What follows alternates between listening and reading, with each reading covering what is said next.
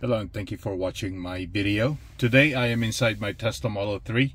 This is a 2018 Tesla Model 3 and the version that is running it is 11.1 2023.12.1. Today I am going to focus on the uh, customizations that are included in the uh, steering wheel scroll wheel right here.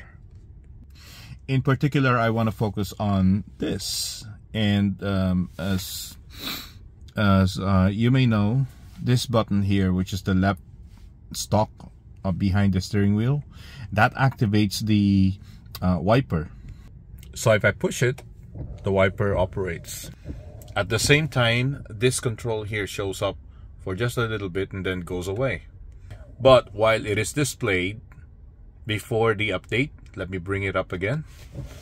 I can use my finger to select from any of these uh, options on the wiper. The problem is that's gonna require me another hand, uh, you know, my right hand ideally while driving uh, in order to uh, select the uh, level of uh, um, windshield wiping. So with this update, all I have to do is if I press this and operate the steering, the, the wiper like that, I can actually use the scroll wheel to move amongst these options with just one hand like this see?